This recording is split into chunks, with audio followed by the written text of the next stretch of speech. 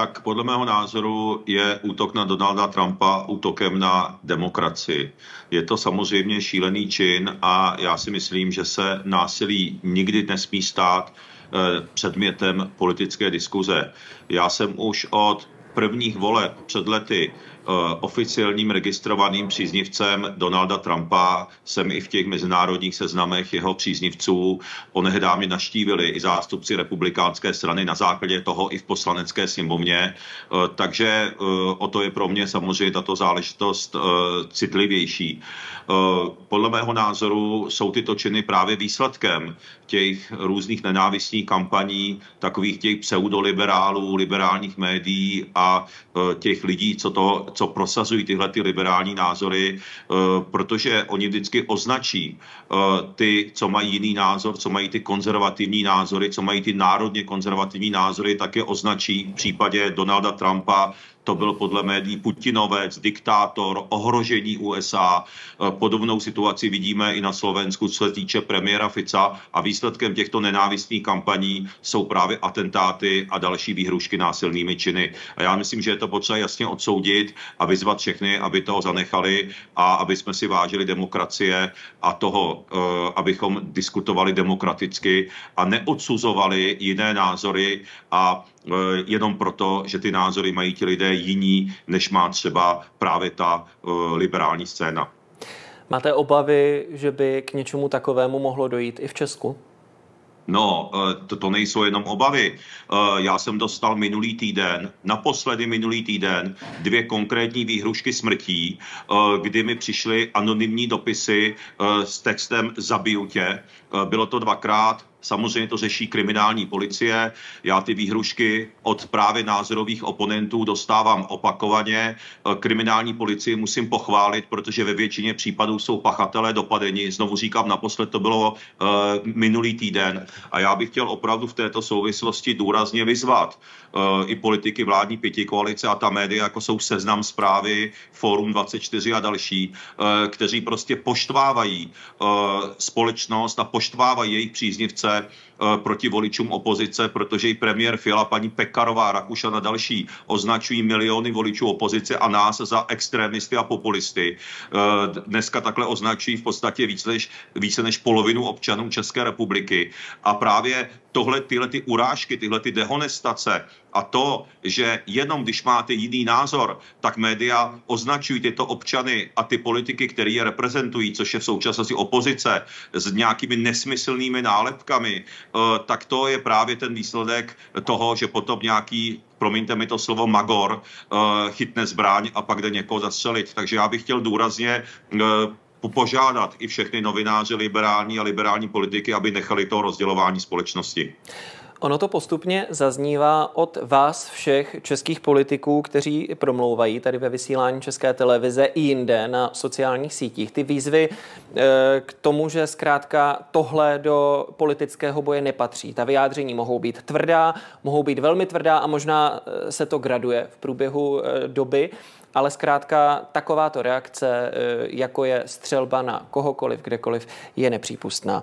Eh, mě no, zajímá, a už jsem se na to ptal eh, právě i pana Havlíčka, i pana Rakušana, jestli je ve hře něco jako společné prohlášení všech představitelů parlamentních stran, hnutí, uskupení, abyste zkrátka společně řekli, že ano, můžete spolu nesouhlasit, ale tak to ne. Ptám se na to proto, že sice nevíme, jestli se něco takového chystá, ale vicepremiér Rakušan za hnutí stan to podpořil, stejně tak eh, Karel Havlíček, první místo předseda hnutí ANO. Zajímá mě, jestli byste se nějakého takového společného gesta, protože ono to není vlastně nic jiného, zúčastnili i vy za hnutí SPD. Prosím vás, já jsem právě před 14 dny nebo před třemi týdny navrhl ve sněmovně usnesení, ve kterým bychom společně za celou sněmovnu odsoudili atentát na premiéra Fica. A jak asi víte, tak Fialova vládní pětikoalice hlasy jejich poslanců odmítli o tomto usnesení byť nechat hlasovat, aniž by oni nabídli nějakou alternativu. Eh, bylo z toho velké zklamání na Slovensku, protože Slováci v ten daný týden právě společně hlasy opozičních i koaličních poslanců, 130 poslanců slovenských, všichni přítomní, hlasovali pro usnesení, pro obnovné usnesení odsuzující eh, právě to násilí a vyzvali v něm, i já jsem tomu usnesení vyzval, politické strany, politická hnutí, média i nevládní organizace vyzvali na Slovensku, aby nešířili nenávist vůči demokraticky zvoleným, zvoleným politikům. Takže já jsem to usnesení navrhl. Bohužel Fiala vládní pětikoalice poslanci odmítli odsoudit ten atentát na premiéra Fica a, od, a odmítli odsoudit tyto věci, o kterých jsem hovořil. To znamená, já jsem určitě pro Eh, aby eh, taková deklarace byla, ale je potřeba přejít opravdu od slov k činům, kdy prostě není skutečně možné, aby politici vládní pětikoalice označovali miliony voličů opozice za extremisty a populisty. Jako ať si nechají ty urážky, eh, měli bychom si vážit demokracie v České republice a já budu samozřejmě bojovat dál, odradit se nenechám ani na základě těch výhružek. A aktuálně třeba pan Bartošek z KDU ČSL označil, řekl o voličích SPD, že velmi často stojí na straně vraha a řekl, že voliči SPD jsou pátou kolonou. No tak jestli to takováto vyjádření e, říkají e, vládní politici, vysocí vládní politici, tak to potom právě spěje k této nenávisti a k tomu rozdělování společnosti. Já si myslím, že každý volič České republice má právo volit si koho chce, všichni mají právo na svůj názor, respektujme to a já se k takové deklaraci rád přidám, respektive já už jsem takovou deklaraci společnou za sněmovnu vytvořil. Mimochodem, pane redaktore, bylo z toho velké zklamání na slovenské straně ve slovenském parlamentu, protože před tím mým návrhem eh, jsem dostával zprávy od slovenských vládních politiků, že vítají, že sněmovna o tomto bude hlasovat a že také sněmovna společně odsoudí ten atentát. A pak byli v šoku z toho, že hlasy Fialy vládní pětikoalice ani nepřipustili hlasování. Takže tohle to je realita, no takže, no, no, takže je moc hezké, že politici vládní, eh, vládní koalice toto jakoby verbálně odsuzují, ale ty činy tady opravdu chybí. Ještě poslední věc vás poprosím, využiju toho, že jste zmínil, že jste registrovaným příznivcem americké republikánské strany. Eh, jak ten atentát podle vás ovlivní další vývoj eh, té předvolební kampaně a to klání jako takové? Protože oni se objevují komentáře, že už to tím snímkem, těmi scénami ze včerejšího večera má Donald Trump vyhrané. Tak já jsem příznivcem uh, Donalda Trumpa, uh, nikoliv registrovaným příznivcem republikánské strany, tak mě uvedli do seznamu.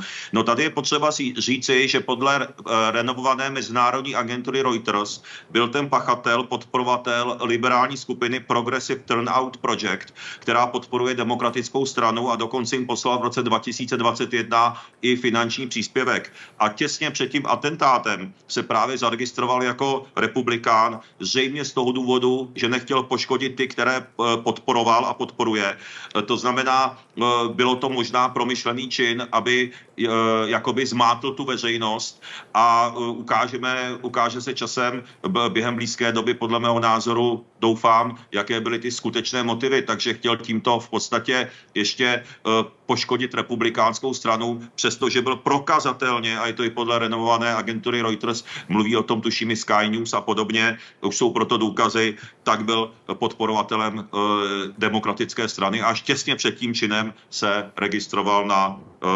republikána, protože myslím, že jenom blázen může věřit tomu, že by nějaký republikán chtěl zabít svého vlastního kandidáta. Takže ta situace je e, z tohoto důvodu, a tím odpovídám na vaši otázku, je komplikovaná, bude se to šetřit, je vyostřená a já bych hlavně chtěl, aby ty volby proběhly v klidu, protože výsledek voleb ve Spojených státech ovlivňuje celý svět a to je prostě potřeba si uvědomit. Říká předseda hnutí SPD Tomio Okamura. I vám děkuji za váš čas pro vysílání ČT24. Hezký den. Děkuji. Mějte se hezky a se daří hezkou neděli.